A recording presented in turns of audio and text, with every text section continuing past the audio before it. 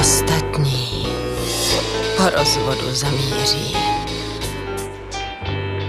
k psychiatrovi.